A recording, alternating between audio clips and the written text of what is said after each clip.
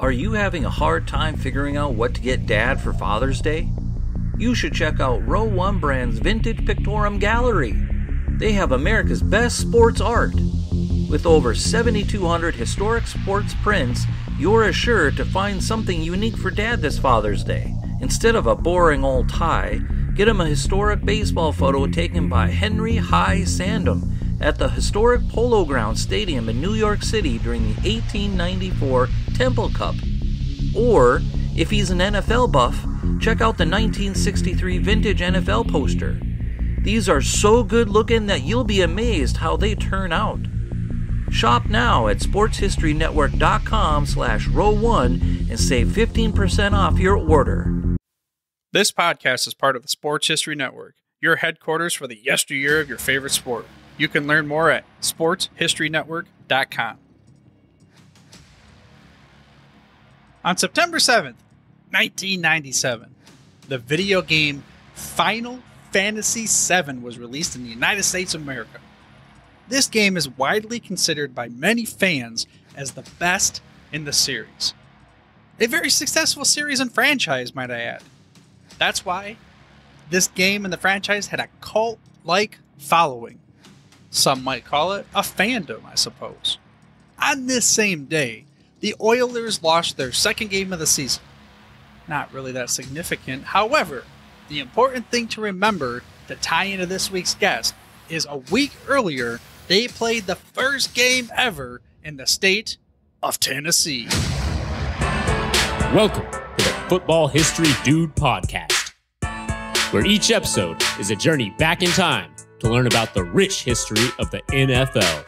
Your host is Arnie Chapman. Football is his passion, and he wants you to come along with him to explore the yesteryear of the gridiron.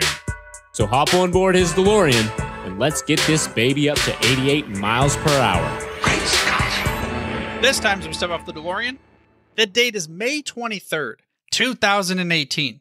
We're anywhere USA, or maybe the world, maybe the universe. Who knows? Maybe they got some dudes listening to this podcast over in Plutarch on Flea Blobber or something like that. They're listening to episode six of the Football History Dude podcast, the first ever listeners' favorite football moments episode. Now, if you haven't heard of these or you don't know what I'm talking about, it's something that I did a little bit earlier in the podcast where I would, for lack of better terms, let the listeners of the show send in their favorite football moments of all time, and then we played them on the air. Well, on the podcast waves, that is. And this week's guest, Jeremy McFarlin, well, I'll tell you what, this dude was the first non friend or family member to send in his favorite football moment of all time. Speaking of that, another reason why this week's guest is this week's guest is because Jeremy is incredibly important and special, mind you, very special to not just me, the Football History Dude, but the Football History Dude podcast and the Sports History Network as an entirety. Now I'm going to transform you back. I'm going to go whisk the wand. Or better yet, how about we take the DeLorean back to, I don't even know the actual date, but I know it was early May 2018 or maybe it was late April. Hey, let's not get hung up on the dates because it was when I was recording. I like to say episode three, but it might have been episode four. But I'm sitting there recording an episode. And I'm getting a little bit, at that time, it was kind of challenging because I'm trying to work through this whole thing, don't know what I'm doing. And then it comes along a, a message. It was like a, I don't know, it was a direct message via Twitter or something like that. It was just a message from some random dude named Jeremy McFarlin, who now was not random. That's why he's a guest on the show. But he reached out and he said, Hey, man, I'm listening to your show. I really like it. You know, the Football History Dude podcast. Talk about the first moment when, I don't know, you own a business, that first dollar you put up on the wall, or whatever, whatever you do in life. I could go on and on and on, but we got to get on this show. And that's what it felt like with Jeremy. You see, he reached out of his way to tell somebody that he enjoyed his podcast. I'm just some lowly dude in the in the closet in my bedroom recording this episode, and I get this person from at the time, who knows? He could have been half across the world, half across the universe. I know, like Flip Flop and and Glarb over there, like I said, but he reached out and he told me, "I like what you're doing," and that gave me fuel for my tank. And who knows? it could have been it could have led to the fact where I'm still here today. I might have stopped. I might have pod faded, what they call it, and after a couple episodes, just nah, no, no traction. I'm not getting anything. I'm bouncing. I'm out of here. But in fact, I stuck around. I mean, it's pretty cool. Again, like this dude reaches out to me, and then he's the first to purchase an FHD T-shirt of somebody I didn't know in person. Yeah.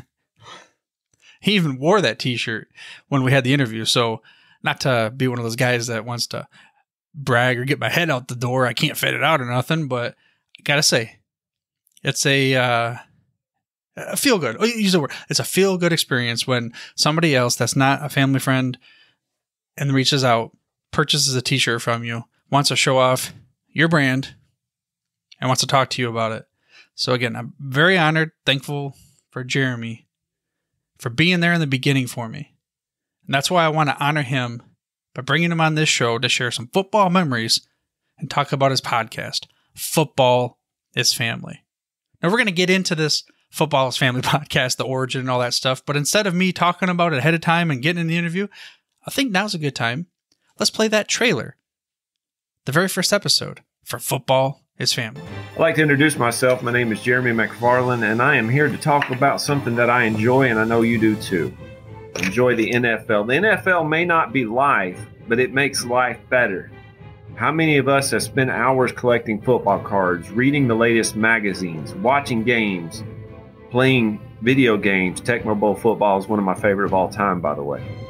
Watching sports shows and talking with fans of the game that we love. How many of us have had posters on the walls of our favorite player or team?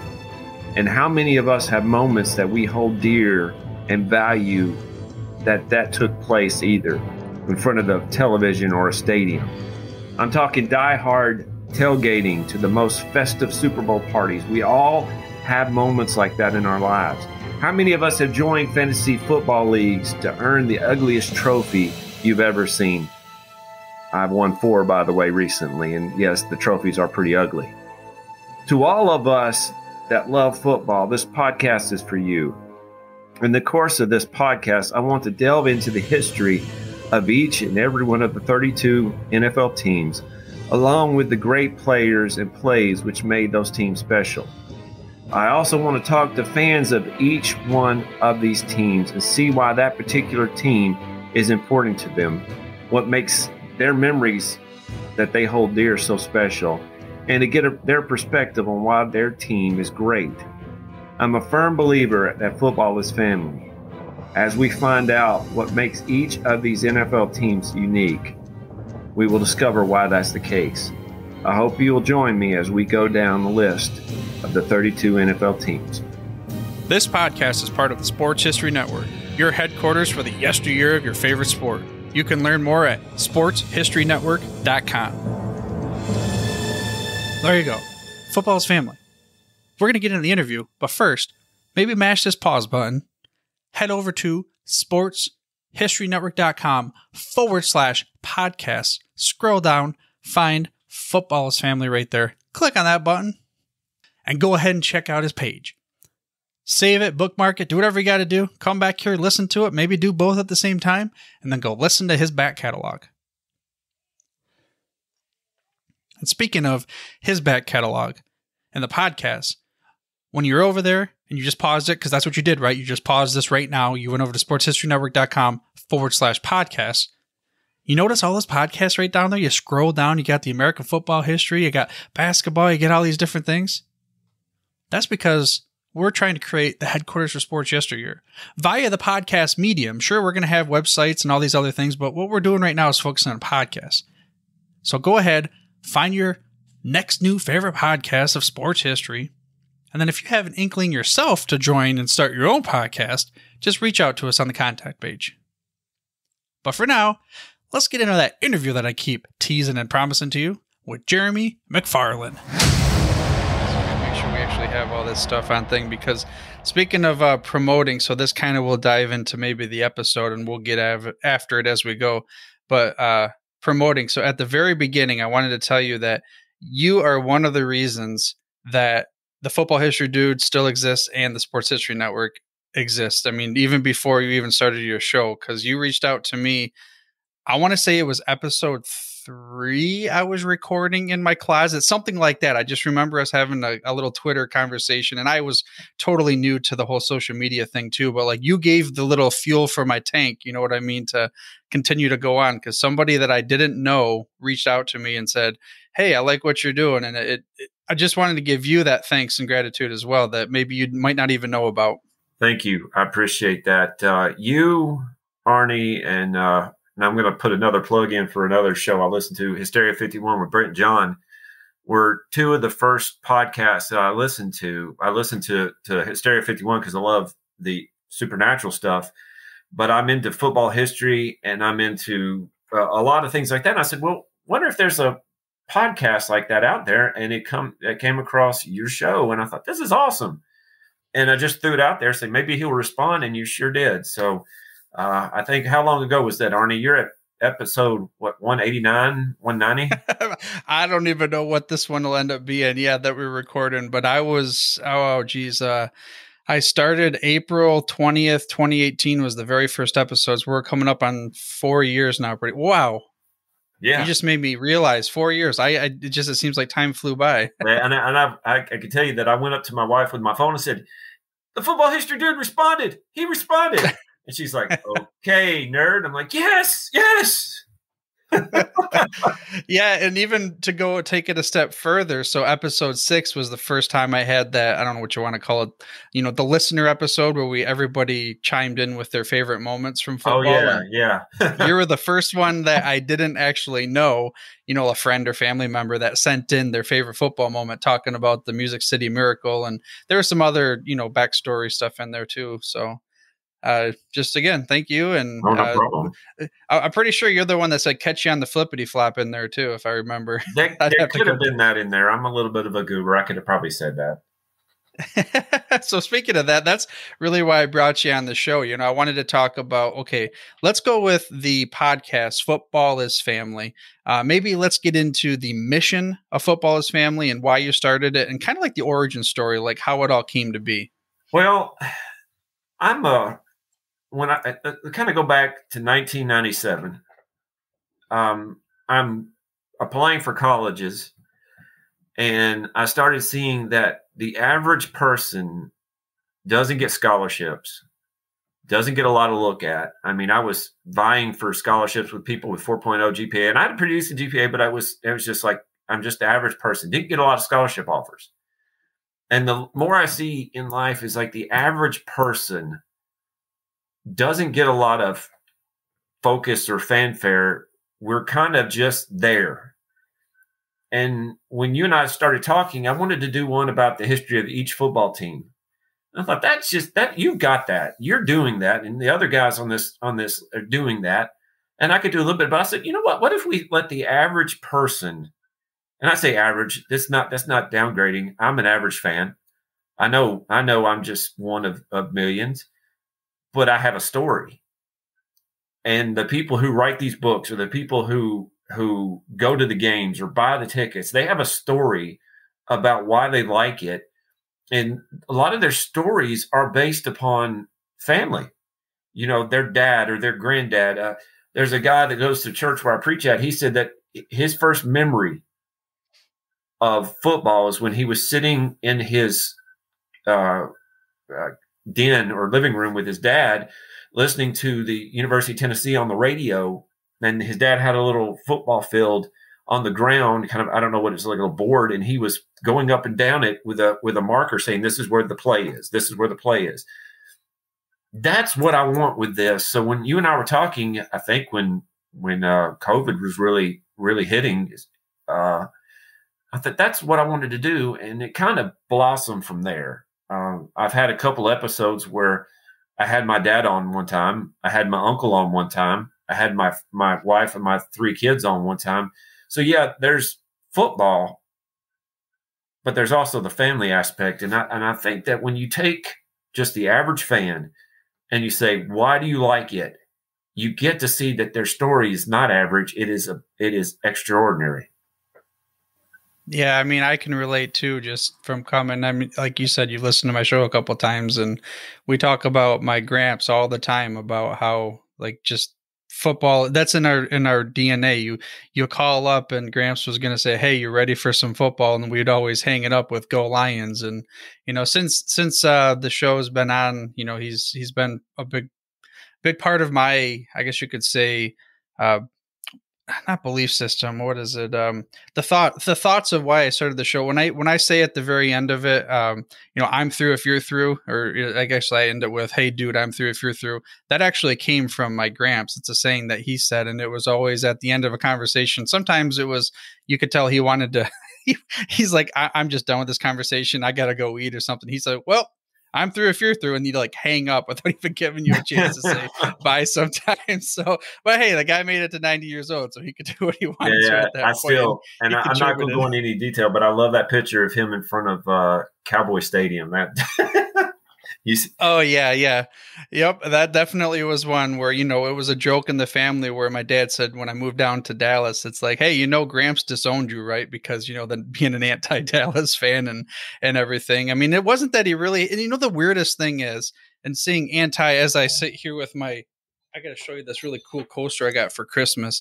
It's like uh, it's a Barry Sanders. It's uh, like ceramic. I don't know what. I think this is ceramic. It's from Detroit News, and my mom got it for me. But like for the the strangest thing is for being such a Lions fan, my grandpa really wasn't that big of a Barry Sanders fan for whatever reason. It made no sense. He didn't like Barry. He didn't like Michael Jordan. He just didn't like the great ones or some for some reason. But it was uh, you're getting me off track here because you're talking football as family. Perfect segue into your your your your podcast because again, I could go on and on and well, on about how football is family. And Arnie, that's that's the whole point. Uh, one thing I like, and I, I've learned with my profession, I talk. And when you let people see you're real and you let people see you're fallible and you you like things and you don't like things, they start to talk and they start to make things real. And and when you came on, you were talking about your your fan, but I've talked to people. Uh, I talked to a gentleman from Houston, from that area, who still misses the Oilers and I've talked to people from Baltimore who said that it's not the Indianapolis Colts, it's the Baltimore Colts. And you know, I'm I'm sitting here with with my particular team. I benefited from a move, uh, but talking to people who lost a team, you know, it, it's it's like you, you, think, well, this is you don't even meet these people. They're no they're not in your social class. They're not in your economic class. But it's not the people; it's the team. And when that's gone, uh, it's almost like you you lost a part of your life. Yeah, I mean, if I couldn't imagine at this time, because people have mentioned, you know, with the Lions, or would they ever move? And it's it's just my blood. I moved when I moved to Dallas. It was, oh, hey, I got to get the NFL ticket because I got to be able to watch every game, and it wasn't even a second thought as to if they move or if I move, I'm gonna still be a Lions fan regardless of where I'm located. First thing I did when I went down, well, I shouldn't say first thing, that's not fair, but one of the the first weekend I was down there, I took a picture of me at the the high school where Stafford played with my Stafford jersey on, which I still have by the way, and it was two to three sizes too small during the Super Bowl, but still, I'm I'm rooting for Stafford there, and, and and I'm glad he, I'm glad he won. Uh, if it couldn't have been my Titans, I'm glad that Stafford. Uh, he you could tell from the uh, Super Bowl parade he enjoyed it a little too much. yeah, yeah. I won't get into any of that business. I'll just talk about my my boys from the positive light. Well, that, that's what that's what this is about. I Darren on his podcast says he he looks at football from a positive perspective, and I've kind of taken that and said, you know what, let's let's talk about it from the positive perspective. The one thing I like, Arnie, is I I've had Baltimore Raven fans on, and with Titan and Ravens, we don't get along. And I let them know we don't get along. But you know what? We have fun with it. It's not personal. It's not personal. It's not life or death. It's fun.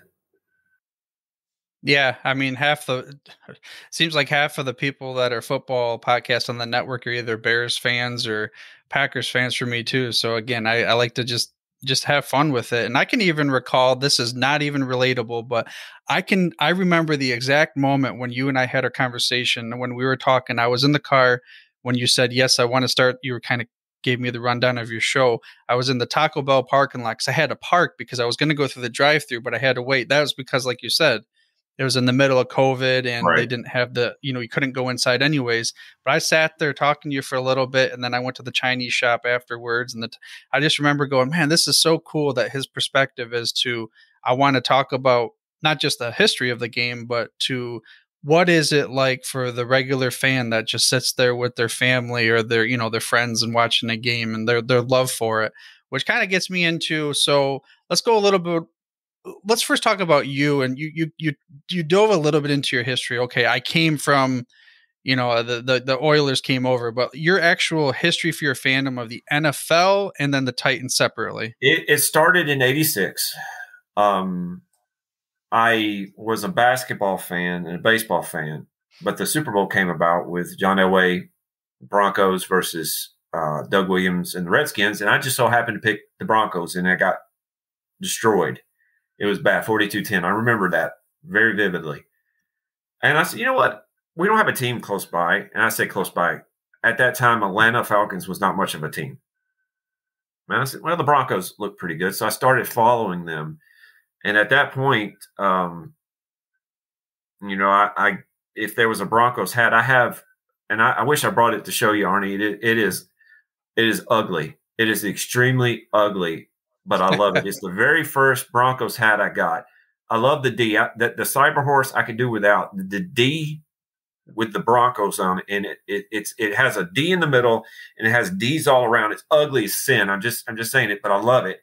And it's the very first NFL hat I bought. It, I wore that sucker out. It's it's just, but you know I followed them through their Super Bowl loss against the the uh, the 49ers. Um, and then when I got a chance to see them play in uh, the Super Bowl against the Packers, it was one moment where I knew where I was. I know where I was at that moment. I was at Freed Hardeman University watching it at third floor at, at uh, you know Benson Hall, and I remember yelling out of my dorm room that we finally won, and people were looking at me like, "What are you doing?" But you know, I, I finally got to see my team win a Super Bowl. Of course, they won it the year after that. But what happens is we started getting this notion that we might get a team here uh, in Tennessee. Nashville is about 30, 45 minutes away from where I where I grew up. I said, you know what, this might be pretty neat. I was never really a big Houston Oilers fan. I remember how bad they would beat the Broncos, how great Warren Moon was, and how good they were in Tecmo Bowl. But I wasn't really a big Houston Oilers fan. But like I said on your show, the moment that the Music City Miracle took place, I was sold. I still have a Broncos fandom, but at that point in 2000, it has been, and I, I've actually called it a sickness. it's a sickness, but it's one that I that I've been through a lot of lows in the past 20 years. The last four years have been just amazing. Uh, but it really started with number seven, John Elway, and now it's all the way to number 22, Derrick Henry. yeah you you kind of alluded to that a little bit of you know you you had this team then you were sold it's a different perspective for you in your current fandom for the Titans versus someone like me who I was born in the the franchise, albeit not successful for a long time, was already established for quite some time. And I'm just curious what it would be like to be in a city where you didn't have a team and then the team chose you to come to your city and then now it's like okay i'm hesitant but because was nashville really a big football area other than like Um, maybe the tennessee volunteers or Here's the thing: Nashville. If, people don't know the the, the layout of Nashville uh, in Tennessee, I believe uh, Tennessee is an extremely long state, and from where I live, and I'm on, I'm right close to the Tennessee River. To Knoxville is about five hours. It's a long trip, and it's about two hours to Memphis. So it's a huge, it's a long state, not wide but long. Uh, and from the time I remember growing up, it's all been a college state. It's orange. I was a Vanderbilt Commodore fan for a while, which I, I'm ashamed to admit, but it's been an orange state. The one thing that I remember hearing is that Mike Keith, when he came to start kind of advertising, he's the voice of the of the Titans. He would look at the parents and say, "We're not going to win them, but those children sitting next to them, we're going to win them." And I, while I wasn't a kid per se, I was oh, how old was I? I was 20 years old at the time. Around that time, I still had the opportunity to say, you know what, I have a chance to turn over to a new team because I now have a team that's right down the road. And I and as a result of that, um, you know, I, have been to the training camps, I've been to preseason games, I got to meet and greet the the Titans. I had pictures taken with uh, Taylor Lewan and and uh, Frank Wycheck and and Mike Keith and T-Rac and and you know they became real to me because they were right there. Uh, one of my regrets, and I hate living with regrets, but it's one of my regrets. I stood about three feet away from Steve McNair and didn't say hi to him. Mm. And I didn't want to bother him because he was shopping at a J.C. Penney, but I saw him. He was sitting right over there, and I thought that's Steve McNair. You know, I got to meet Eddie George. Uh, I got his autograph on a jersey that I'm pointing to that you can't see, but it's right over there. That was a highlight. Um, that guy's humongous and one of the nicest guys you'll ever meet. It's just, I, I didn't have that opportunity to relate to the Broncos. But with the Titans, you know, it's it's it's a little different. Yeah, I mean, I again, I I grew up and they just were always there. So, my, and my my dad was a fan before that. My it started with my grandpa as far as the fandom for the Lions. On my mom's side, there really wasn't too much as far as sports fandom going on there, but it would just, like you said, be kind of cool to be a part of the groundbreaking and you were the target market, maybe even younger than you for who they were going after, which kind of brings, okay, so you hear this on the show before, but here's that official DeLorean you get to ride in. And you, it looks like you're about to grab one too. All right, so so we'll we'll, we'll take your DeLorean this time. Mine's we'll put mine in the shop because the now, kids have been playing with it a little bit too much. This, folks, this has been a goal of my life to be on this. I want I want you to ride the DeLorean. I'm going to ride in yours. Okay, well. and so, so am I, am I driving? You riding shotgun? What? I'm riding shotgun because I don't want to dent the fender. okay, no worries. We got a good body shop guy. We'll we'll go ahead and take care of All business right, well, if we get back.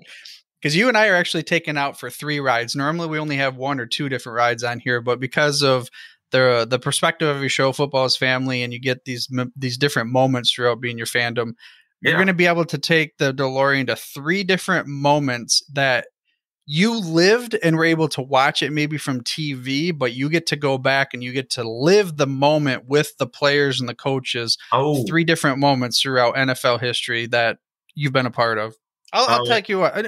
Okay, if you want to go back to NFL history, you got you can knock me out. You can go to a different moment if you want, even if you weren't around for it. Well, I, the first one would be the Music City Miracle. Um, Arnie, I was listening to a, a song uh, by a group called FFH, and it just kind of randomly came up on Spotify.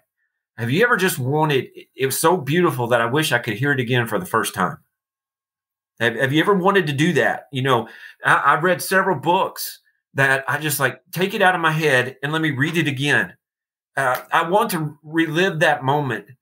I know where I was. I was at Robbins Park in Dickson, Tennessee, but I would love to have been at the game and freaking out to see that because um, that place erupted. I have in my office, I have Music City Miracle stuff everywhere, just because it was such a it's a key moment not only in my fandom, but you know it, in my life too. And when my son was two years old, he could do Mike Keith. He could go. You know he, he there's no flags on the field. It's a miracle. He could do that. Uh, that would be one of them. Um, probably, and I, I would say that the other two, I would love to have gone and seen the uh, the drive, John Elway's the drive against the the, the Browns. My dad took me to Canton, Ohio, 90, 98, and I got to see the jersey. And it was, I still have the picture. It was one of those things that my dad was put through a lot because he's not a football fan. He went up there, sat through four, five, six hours of football history. And that's one of the things that I remember. I would have loved to have seen the drive just because 98 yards, you're not supposed to go 98 yards like that. And he did it. That would have been one of the things that I would love to have seen. The third thing, though, Arnie, I would, as and this is this is kind of a negative. I would have loved to have seen the one yard short Kevin Dyson reception, and I would have loved to have gone out there, you know, pause pause the world for a little bit and called and tied Mike Jones's shoes together so he could go the one yard to get into the Super Bowl to tie it. Hey, if you have a time machine or a DeLorean, you're not going to try to at least make the positive outcome. What are you doing, right? I don't know. I've seen way too many sci-fi movies to know that, that the butterfly effect it, it's not good. yeah, it, normally turns out uh, wrong, and I'm we're we're rewatching this TV show called Timeless right now for probably the third time, and uh, fantastic. You know, part of I, oh, so you know what I'm talking about? Then, oh, yeah, they're trying to go back to. I hate that it ended. Well, that and they tried to end it very well. This is going off the subject of football, and there were some things where I was okay with, but then at the very end of it, they did something. I'm like, ah, you know, it's like bring it back for a couple more seasons because yeah, I, I, love that show. So one thing I'm gonna do when uh, the Sports History Network gets blowing up big time is I'm gonna hire all of the shows I wish would have ended right, and I'm gonna hire them to to finish the show. You know that kind of thing. Oh, just just make a two hour movie. Come on, there that, you go. That show was fantastic. Yeah, I think I'm I'm back on episode seven or eight. So I'm I'm at the point where they just got stuck back in time where they had to like do the whole DeLorean Millennium Falcon thing where they had to like you know they had to bring them back through uh, kind of like the same thing as like the Death Star uh, dra- tractor beamed in the Millennium Falcon stuck okay. back in the French War area. What is that? Uh, way off the subject. Is that on Netflix or uh, I think we're watching it on Hulu. I'm not sure if it's on other places though. Okay, I, I need to look for it then. yeah. So again, it's it's a it's it's t- ties us in though because we go back as uh, you know, Upton Bell recently, you know, called, uh, reached out to me and like brought me on to be, I guess, for lack of better terms, on his show to be a host. So we're going to start a new podcast, and he called me a football historian, and I'm I sat back and I go, I'm not a football historian, but at the same time, I guess I brought so many people on that I've been riding shotgun in my DeLorean with them to go back in time and learn through these other football historians, which you've been able to do as well on your show. So let's go ahead and give maybe three to five, whatever it is, interesting gridiron knowledge nuggets for the listener of the show that you learn from the interviews oh. your uh, well probably the the one that i a couple couple episodes ago, uh, Bob, my mind went blank on his last name. How to pronounce his last name? He wrote the book on the New York Jets. Bob Letter, Letterer. Yep. Yeah. He uh, he was showing. He was talking to me about how much of a team game the, Super Bowl three was, and you don't really hear about this team game but Joe Namath did not win that game. The New York Jets won the game. Joe Namath got the attention. So in, in his book that I'm reading through right now, it really focuses on the team more than it does Joe Namath. And I think that's something we don't always hear about. Um, so that's one of the things I heard. What uh, some of the other books, it, actually, the one that I came out with this week, um, we had some music involved with it. I got the rights to play the songs.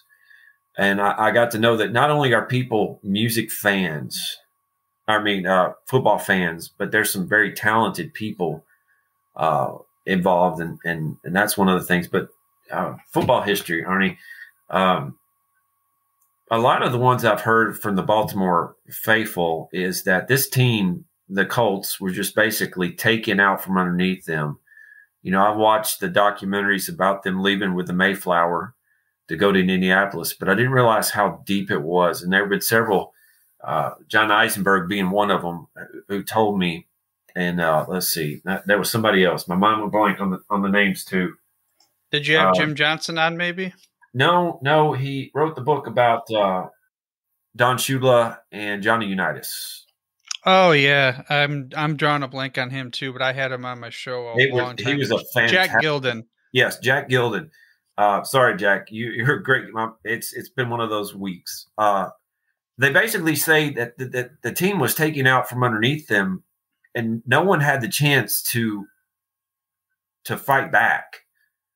And when Baltimore left, it's kind of like a part of that city left with them.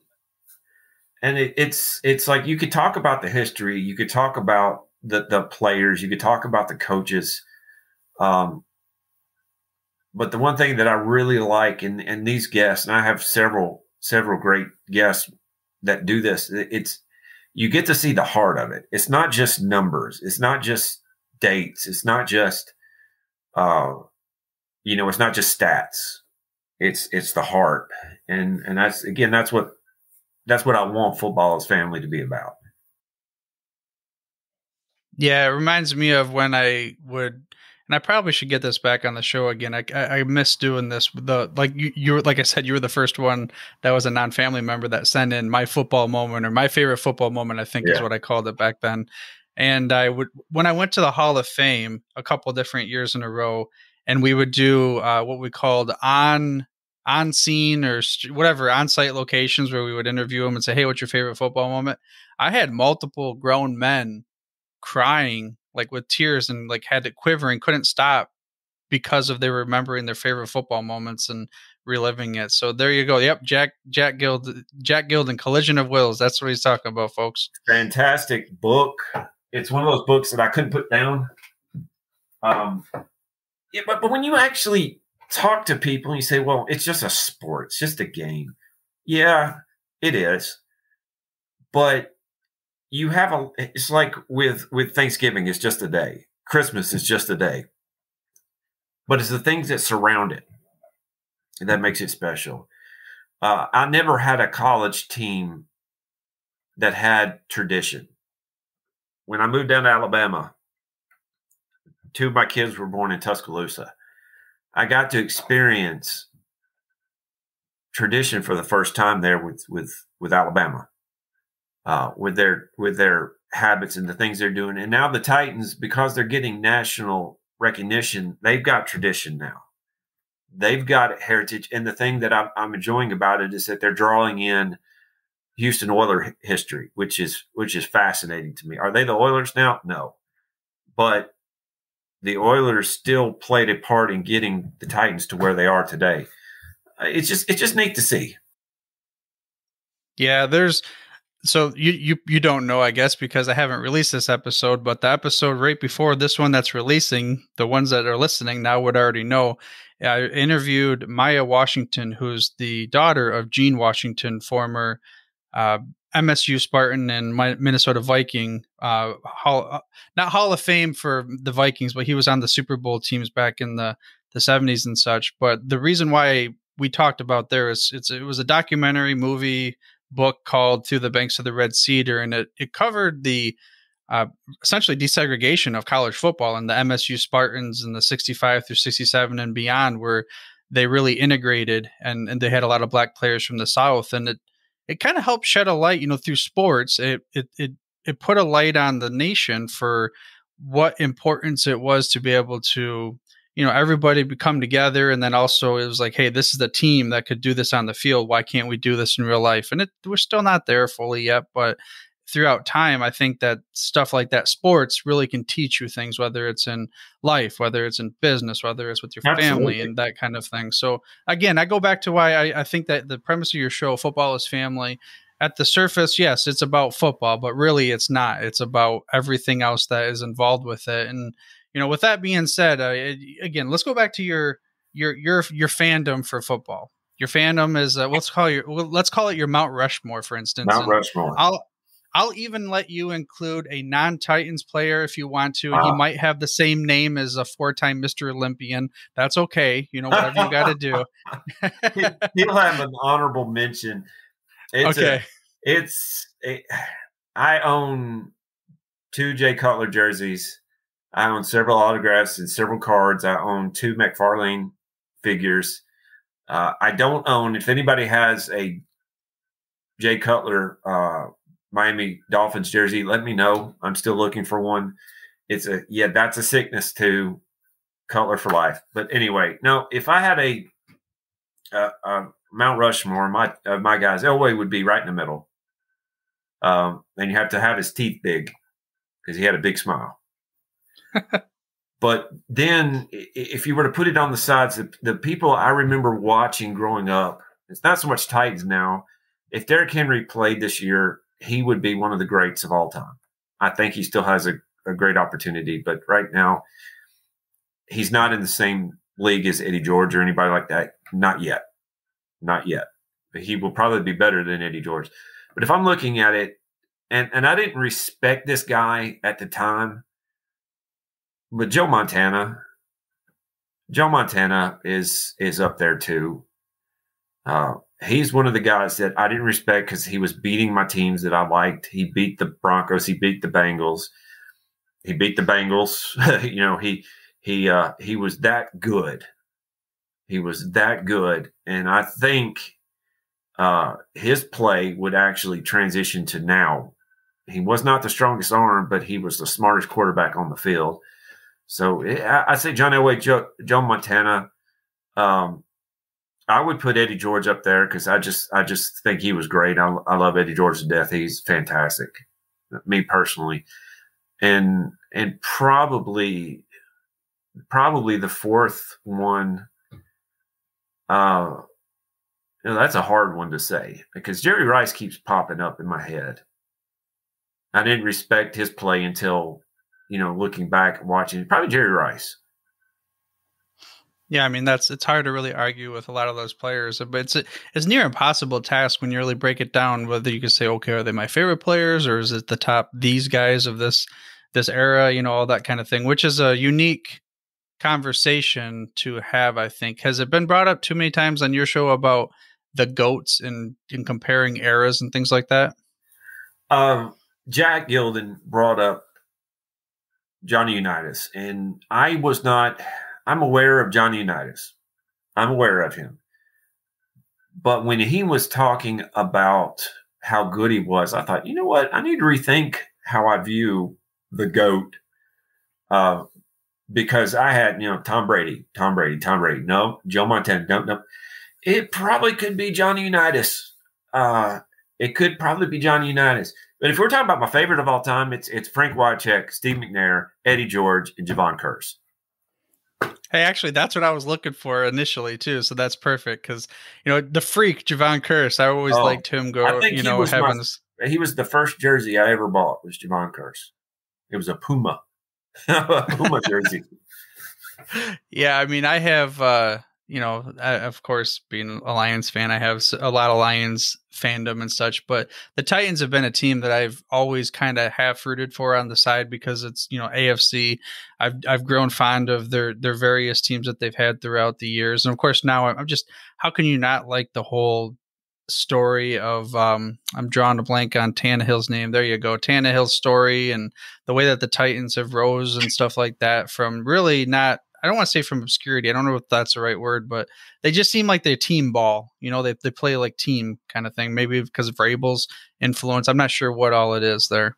It's it's uh it's interesting to watch him because with and I was a Marcus Mariota fan. I was a Jake Locker fan. I was a Vince Young fan. Let's just go all the way back to 2006. I wanted them to draft Cutler, but they didn't do it. All right, whatever.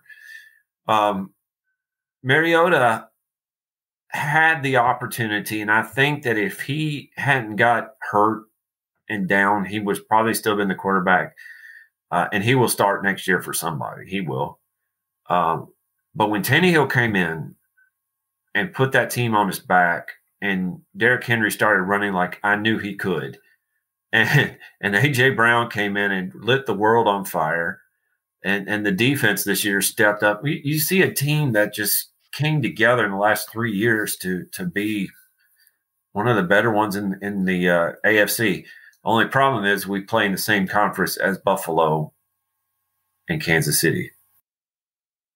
Okay, so let's go with that. I mean, this is a history show, but because it's for football as family and you're a Titans fan, uh, what do you either a think they need to do to get over the hump to make that statement not true, or what would you like them to do to be able to get over the hump well, they need a they need a tight end, and I think that they're not going to draft one in the first round. They probably need to go offensive line first round.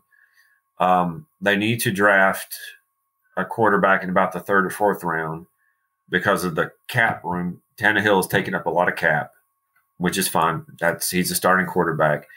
Uh, they need to have Derrick Henry, somebody to to uh, you know maybe two quarter uh, running backs to to rest him because he will break two thousand yards this year.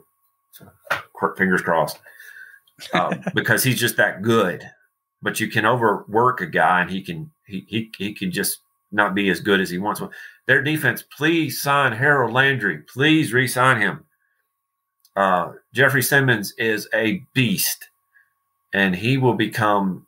I don't know if he's going to be Aaron Donald, but he is almost to that level. That's how good he is. Uh, Caleb Farley uh, on corner is fantastic. Kristian Fulton's fantastic. Uh, we need another cornerback and probably another, uh, probably free safety um, or a strong safety. Just w- one kind of to get depth.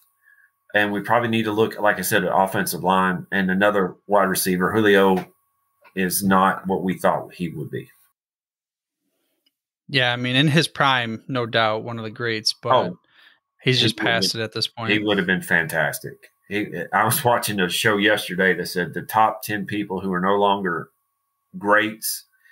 And I thought, oh, please don't have Julio. Please don't have, yeah, Julio Jones was there. I was like, oh, God. yeah. But I mean, again, going back to in his prime, it was, he, like, I was obviously a Megatron fan, but if someone wanted to make an argument for Julio being maybe one A or one B versus Megatron at the time, it would have been hard to argue against it, kind of thing. But Julio, still, he's just Julio phenomenal. A, a freak of nature. How good he is. How good he is. He is so. In his prime, he was smooth. It's kind of like when I was talking uh, to Ken Riley about his dad. Um, and that's one thing I, I, really, really love that personal uh, talking to Ken Riley uh, about his dad, who should be in the Hall of Fame. Put Ken Riley in the Hall of Fame. Um, I told him, I said, Your dad was not the fastest guy, but he was so smooth in running. It was effortless. It looks like he wasn't even running. All of a sudden, he, he got it. Julio wasn't the fastest guy, but he had such crazy speed, you know, quickness that he can hit a, a hit a route, and his hands are just are just perfect. Um, I just wish his hamstring held up this year. Well, that's been his. Uh, I, I, would like to say Achilles heel, but that's been his hamstring issue for probably four or five years now. Yeah. I guess one of the reasons why the Falcons were willing to get rid of him. But uh, again, I'm I'm I'm a, I'm rooting for the Titans, and obviously the Lions are first, but they're one of my teams. Actually, my AFC team has always been uh, your right, your the guys you don't like, the Ravens. But that goes all the way back to when I was in uh, high school as a Ray Lewis fan and everything, and organized defense or organized chaos, I should and say. On that defense. note, on that note, now right, that's one of again, it's it's all fun. It's it really is. My my wife was asking me a question. She said, uh, "What would you have done if I told you I was a Ravens fan when we started dating?" I said, "Well, it was nice knowing you." she said, "You would have done." I said, "It was hard enough knowing that I'm marrying into a Steelers fan." Uh, my my father in law was from Pittsburgh, and and actually I have a his the helmet over here. You see it over here in the corner. Uh, when he died, I got a lot of his Steelers stuff, but uh, you know he he let me know when the Titans got beat by the Steelers. He let me know real fast. He would call me and say, "Hey, what was the score there?" And of course, you know, I had to respond to it. But I, will tell you this: one of the one of the highlights in my life, Arnie, uh, is the Steeler, my, my father in law, my mother in law moved up here to Tennessee with us about three or four years after we moved here.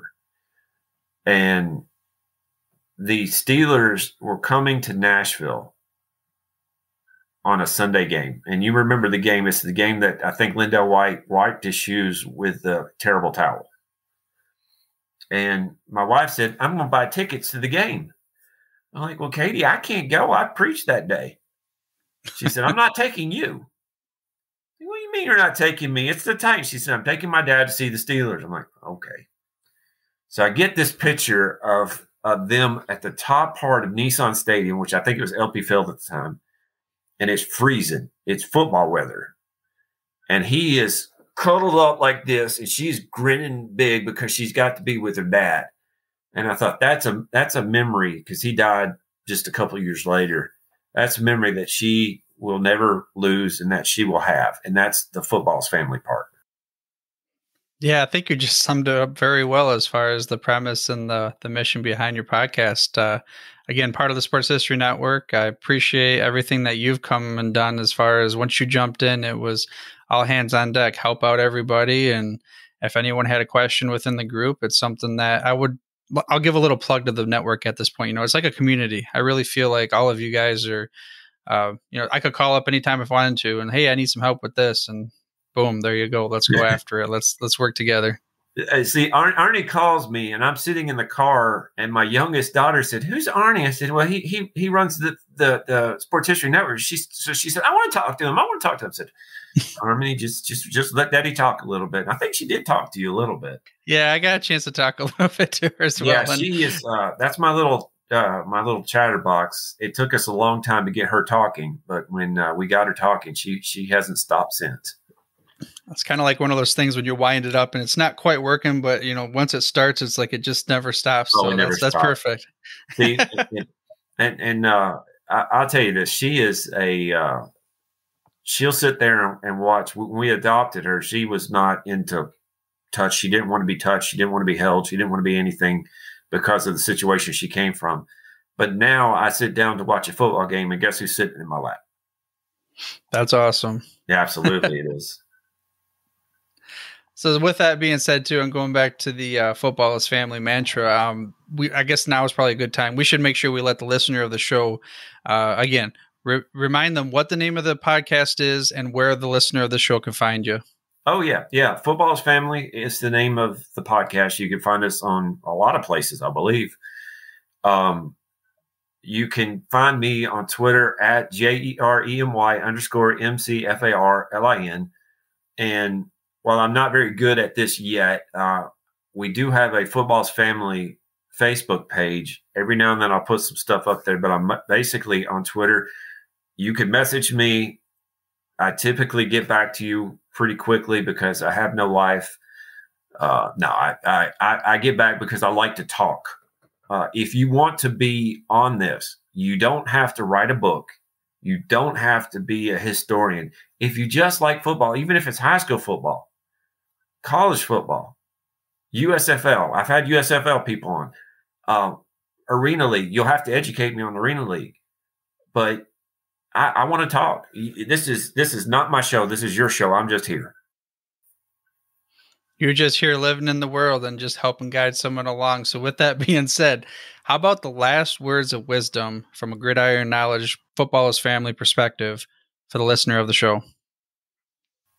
Don't apologize for liking your team.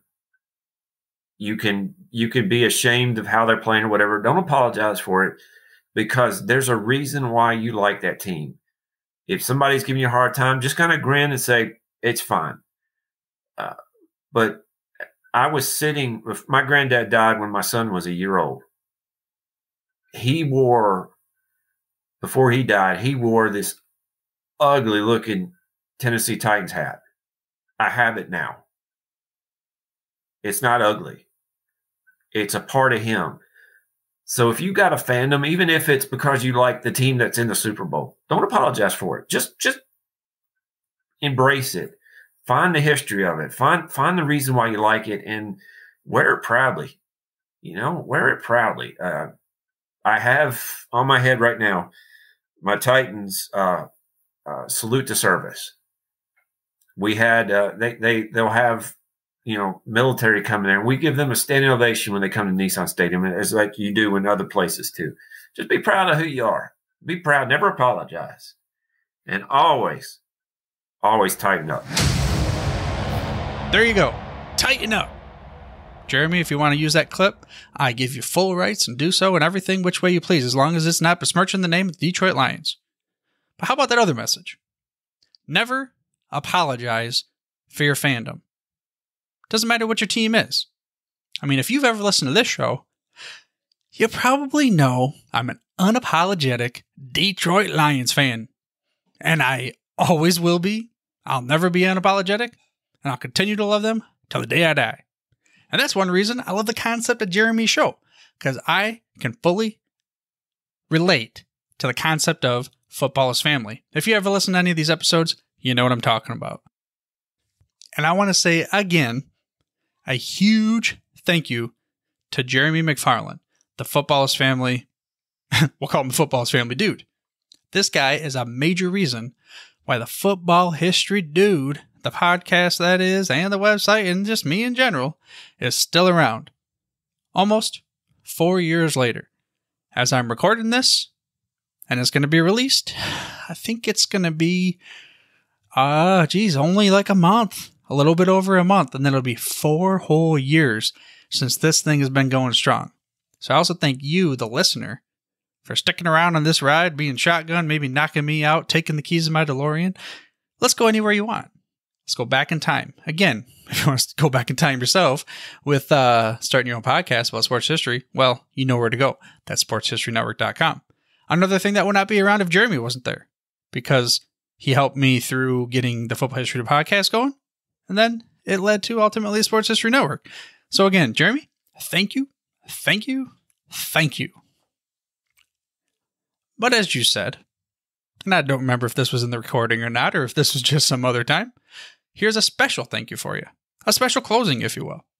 I'm going to go ahead and say, Jeremy, I'm through if you're through. Thank you for listening to this episode of the Football History Dude. To make sure you're the first to get the next episode, please subscribe on your podcast player of choice and head on over to the footballhistorydude.com for the show notes and more information on the history of the NFL.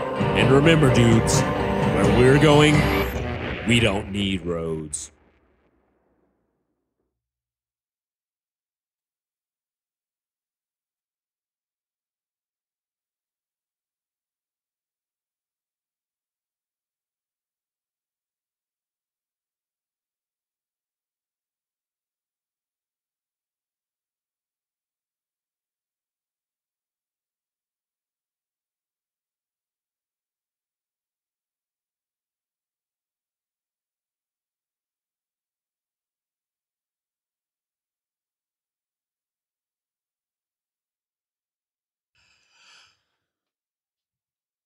Okay.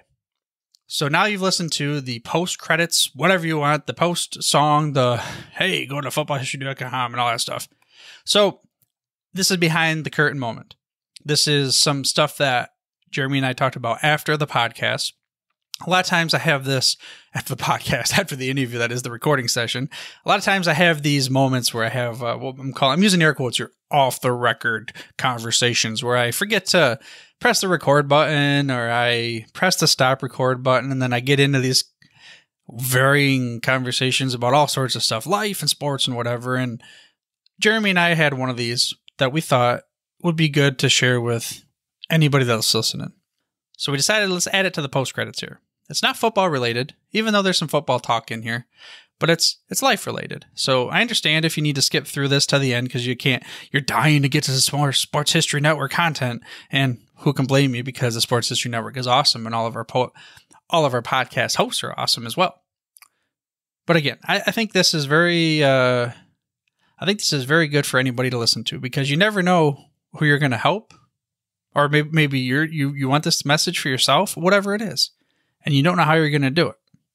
So kick back. Here's a few minutes peeking into Jeremy and me just having a conversation, albeit a second time almost having the conversation. But here's the topic that we talked about.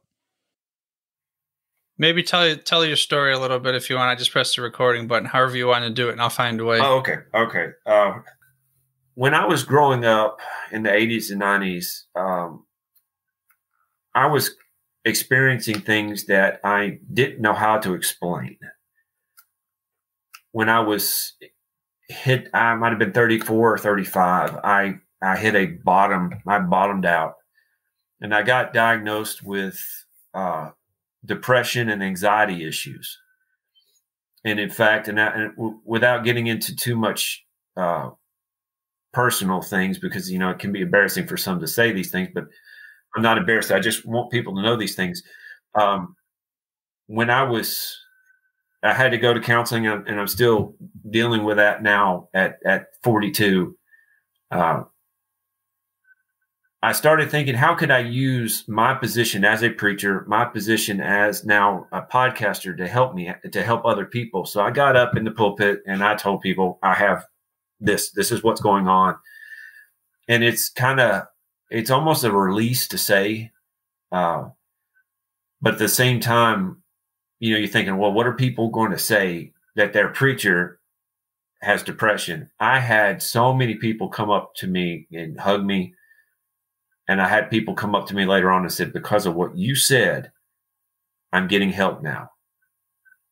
Well, with this podcasting ability, I, I can choose guests or I can just get on my own. So a few weeks ago, AJ Brown, who is who's quickly becoming one of my favorite players of all time. he just a great guy, great player. He came up and said that he contemplated suicide and you think, well, how could a young man who is good looking, who's going to make a lot of money, who's great at what he does, how could he contemplate suicide? The very fact that a man like AJ Brown could get up and say what he did, that's a man right there who is willing to let his faults or what you would consider faults or his weaknesses strengthen other people. So I wanted to mention that. So I mentioned it, and I had uh, I think it was it was episode I can't remember what it was episode fifty eight, and it wasn't a long episode. Well, about three weeks later, I, I talked to a guy who, before I started recording, said, "I heard that episode. Thank you for doing that." You never know what good you can do. You live that life even with your faults, even with your dings, even with your dents. You never know what good you can do, and you never know who's listening. You never know who's watching. There you go. I mean, I could keep going on and on about that, but again, I I appreciate someone like you who's willing to to to step out on the limb and be willing to open up the vest, whatever you want to say. You know, like say, hey, this is what's going on, because the thing is, everybody has something in their life that they're struggling through dealing with, has I don't know what the words to say it right now, but they they they're almost like I don't know what to do. And I even got to that point one time, and I don't know what you can throw any kind of label you want on it, but for lack of better terms, I got um, anxiety. I'll call it. You know, when I was dealing with, uh, so I went and I opened up a plant down in Texas, and for for the same company I still work for, which I worked for back then. I wasn't ready for it from a management perspective or anything like that. It was so much going on in my in my life that it it really got me like I said, like I, never had dealt with that before, not being able to sleep, not being able mm-hmm. to like, you know, the heart racing type of thing. And it, I didn't, I took it of the path of at first, oh, there must be something physically wrong with me, right? Just like most right. people do. There's, oh, there, eh, it's just, you know, I'll fight through it. I'll, I'll put some dirt on it. I'll rub through it, you know, because that's always a phrase you had used in football, for instance. You know, it's, oh, you got hurt. Let's put some dirt on it. It's just a flesh wound type of deal. But then it's when you're able to, like you said, really open up and think about it and be willing to get to the point where you can accept that you know what it doesn't mean that this is a weakness of mine or it's a, a flaw or whatever you want to call it it's something that i just I aware I'm aware that's there and I'm going to be able to just strengthen the muscle to be able to work on, you know, being able to work with people and with others to be able to get past this and through it and then help everybody come along with it. So I, I think that's that's why I like that. I did listen to that episode you know that that one as well. I told you I haven't been able to listen to everything on the network, but I appreciated that type of that, episode and being able to share that as well. You never realize how strong you are until you take about two steps back and look at where you came from. The very fact, Arnie, that I can stand up here and first off, um, and I, again, I'm not going to go into specifics, but uh, I shouldn't be here right now. I shouldn't be here right now. It's because I have at the time I had two loving kids. I had a loving wife. She's still she's still there with me despite all that I have been through. And I had loving parents and I had a church family that that surrounded me and and and and helped me. My grandmother, my granny, uh, when I told them all that I was going through, they were able they, they were willing eh, eh, to, to pull me up and and they said you're not alone and that's one thing i always felt like uh, there was something wrong with me I was alone. No one would understand. And when I get up and say, this is what I'm going through, there are people out there that says, you know what? I got you. I understand that. Well, technically, they don't understand what I'm going through. They're going through something on their own, but they're in the same ballpark as you. And, and I've said this on a couple of my episodes. You're not alone in in in this.